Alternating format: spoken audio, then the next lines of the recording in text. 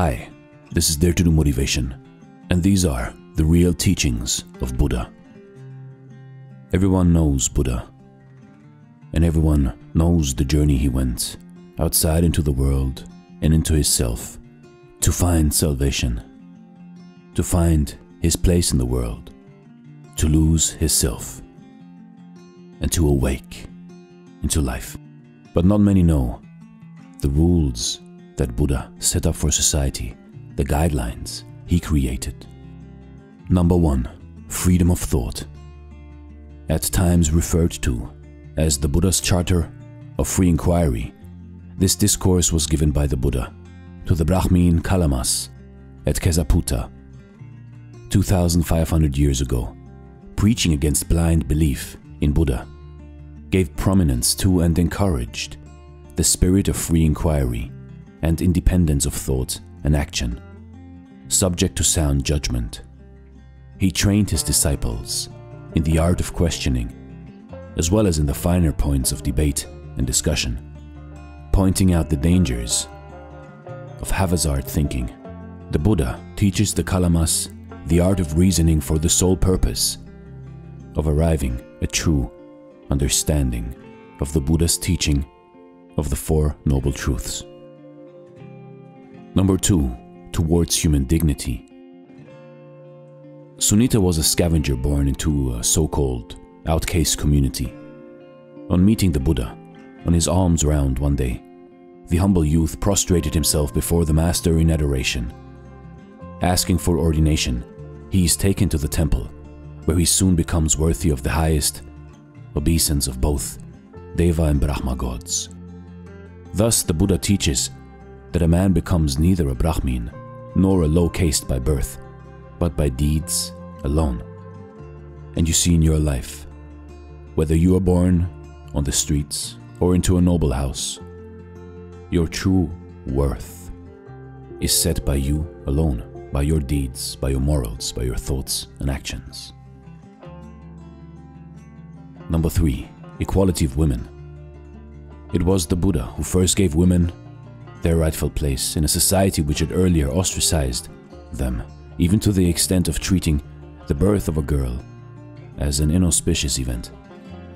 Knowing that being a woman was no bar to her attaining the highest fruition of sainthood, the Buddha permitted the ordination of women as bhikkhunis. Further, the establishment of a bhikkhuni sasana, order of nuns, by the Buddha, was the first of its kind in the history of the world. You see in life, these days also, in some societies, in some countries, if a girl is born, it is frowned upon. It is not seen as beneficiary. Not taking in gratitude what God gives you in life, which presents He gives in your offspring. So already Buddha knew that life is sacred, no matter if your baby is a son or a girl. Number 4. Human freedom. In the time of the Buddha, it was common for both men and women to enter into services in rich households due to their extreme poverty. In fact, this traffic in human slaves was very common at the time, even though it was contraindicated for a follower of the Buddha.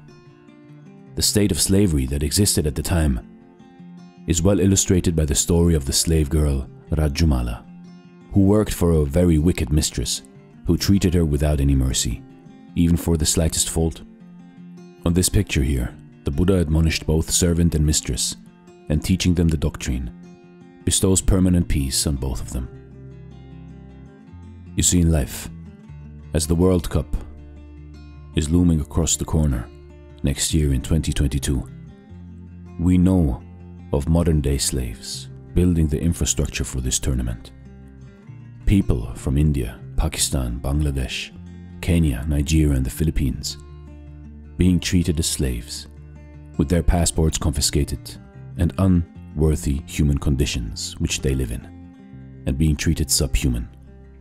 Slavery still exists today, and even though money runs the world, let your hearts also run the world. Number 5. Ministering to the sick. In spite of the fact that the study and practice of medicine and surgical science has advanced to a great extent by the Buddha's time. Hardly any attention was paid to nursing or caring for the sick. Puttigatta Tissatera was a monk who was stricken by a skin disease, which spread covering his whole body, with a mass of ulcerating matter. Lying unattended by the fellow monks, his condition worsens. The Buddha, going to the stricken monk, who now lies dangerously ill, bathes him in warm water with the help of Ananda and cleans his robes. Having made him comfortable, the Buddha expounds the teaching to him, explaining the true nature of the human body. Enlightened by the discourse, the Thera becomes an Arahant. The Buddha then addresses the other monks on the ennobling task of caring for the sick. Accepting the compassionate exhortation of the Master and following his noble example, the laity started to build wards for sick monks in all large monasteries. Later, King Dhammasoka was to build hospitals, not only for the public, but also for sick animals. Hence, the honor for the establishment of the first hospitals should be given to the Buddhists. You see, in life, in an ever more aging society across the world, it is important that the profession of a health carer, of a care for the elderly and the sick, gains in respect gains in income and becomes one of the true pillars of our worldly society. Number 6. Psychic therapy.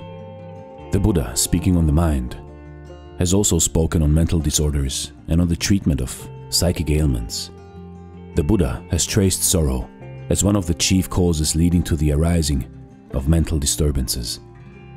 On the death of her only son, Kisa Gotami loses control of her senses and in her madness goes in search of medicine for her dead child. Failing all else, she appeals to the Buddha, who, realizing that nothing would convince her until her mental equilibrium has been restored, sends her on an errand to get him a few mustard seeds from a house where there has been no death. Unable to accomplish the master's request, she comes to the conclusion that death is inevitable, and that her only son too had succumbed to it. You see, in life, already Buddha traced sorrow as one of the chief causes leading to mental disturbances. So don't keep your sorrow to yourself. If you feel sad, share it with your friends and family. Seek professional help if you must, and try to dig to the root of your sadness. Look for a smile in your heart and translate it to your whole self. Number 7. Compassion to animals. In the Buddha's time, there were various animal sacrifices taking place in India. Innocent animals were killed as offerings on sacrificial altars to appease the gods, for man's happiness both here and hereafter. The Buddha, however, showed man that it was impossible to obtain happiness for oneself by causing suffering to others, and that the followers of the Buddha, if they were so, should avoid making animal sacrifices. At that time, the king of Kosala had seen 16 terrifying dreams in a single night and was in great fear. To avert the evil influence of these dreams, a great animal sacrifice with the killing of thousands of animals was arranged in accordance with the advice given by the Brahmins. Hearing of this, the Buddha advises the king against such a sacrifice, thus saving the lives of all those doomed creatures. From that day to this, no taking of life, however small, is involved in any ceremony of the Buddha's followers.